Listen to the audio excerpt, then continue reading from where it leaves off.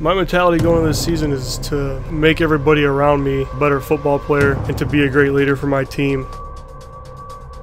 Going into the season, our main focus has been not looking ahead and taking one day at a time, getting better at something that we're not that good at each and every day.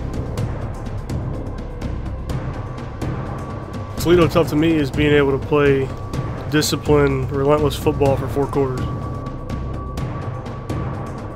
I think the legacy that not just myself but the senior class is trying to leave behind is the ability to lead and fight through adversity and persevere through everything that goes on in a season.